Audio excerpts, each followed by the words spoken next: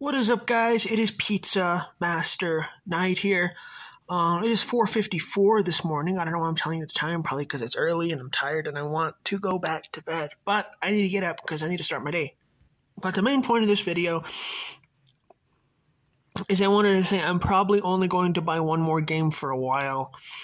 And like the reason for that is is just because I've been spending way too much money on games lately. I just I don't know why. I just can't stop spending money on games. Um, and there's still a lot of games that I still haven't played much.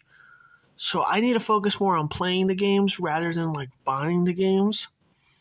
It's fun. It's so much fun doing unboxing videos, and it's so much fun buying new games and checking them out and playing them.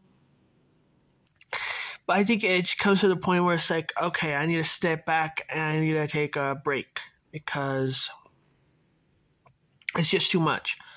You know, I've spent over, well, I'm not going to tell you how much I've spent, but I've spent a lot of money on games.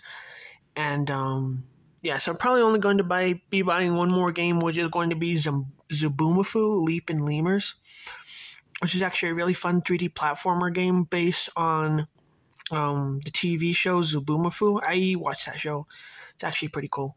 But um, yeah, if so, I mean, honestly, I'm gonna miss doing unboxing videos but I'm not saying that I'm not going to buy a game ever again.